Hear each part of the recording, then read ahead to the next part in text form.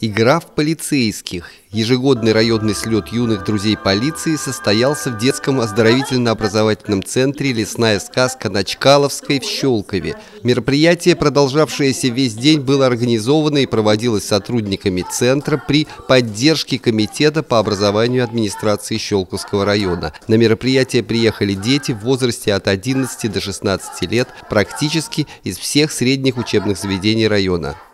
Сегодня у нас 37 отрядов из 33 школ района. Мы с детьми встречаемся постоянно.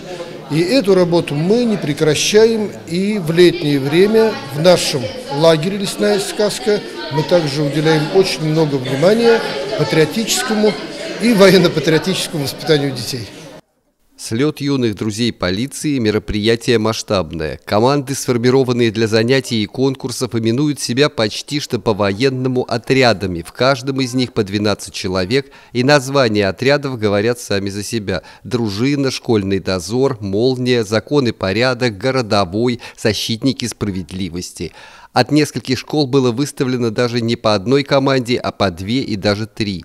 Школьники участвовали в конкурсной программе, где им предлагали проявить себя в знании правил дорожного движения, проявить, пусть и в адаптированном для детей виде, юридические знания, показать свои умения в сборке-разборке автомата Калашникова, умение оказывать медицинскую помощь, а также посостязаться в силе, ловкости и точности.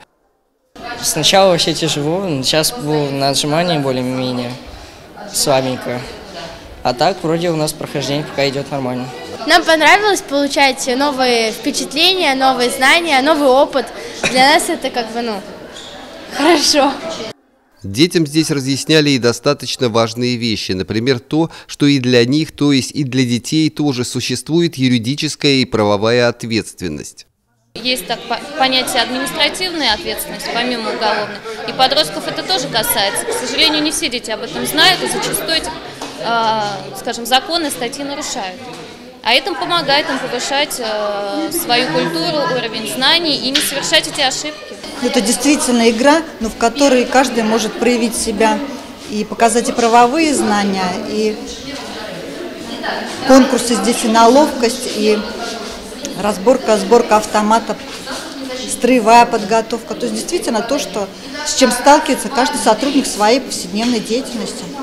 По итогам смотра были названы победители. Из старших школьников победил отряд «Максимум» из Щелковской школы номер 2, а у младших первое место разделили отряд «Школьный патруль» из Щелковской школы номер 6 и отряд «Стремительный» из Щелковской школы номер 11. Андрей Цеханович, Игорь Поляков, телерадиокомпания «Щелково».